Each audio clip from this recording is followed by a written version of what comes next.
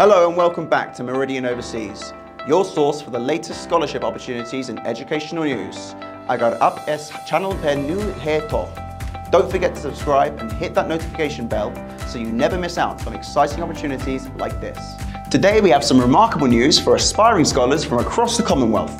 Funded by the UK Foreign Commonwealth and Development Office, Commonwealth split site scholarships enable talented and motivated individuals to gain knowledge and skills for a sustainable development, and are aimed at those who could not otherwise afford to study in the UK. Vår whole Commonwealth ke eligible universities med padhai karne vala PhD scholars kobara maine ke UK ke ek institute me research karne ki opportunity dete hain. Now, let's talk about eligibility. To apply for these scholarships, prospective scholars must be a citizen of or have been granted refugee status by an eligible Commonwealth country or be a British protected person, be permanently resident in an eligible Commonwealth country, be registered for a PhD at a university in an eligible Commonwealth country by the time your scholarship starts.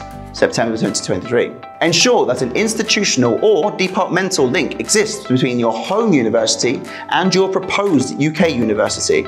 This link must be greater than simply a collaboration between individuals.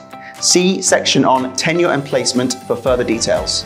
Both supervisors must provide a supporting statement which provides further details of the link to ensure your application is eligible.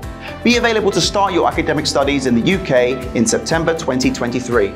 By September 2023, already hold a degree of at least upper second class honours standard or a lower second class degree and a relevant postgraduate qualification, usually a master's degree. Be unable to afford study in the UK without this scholarship. Application deadline is the 5th of December 2023.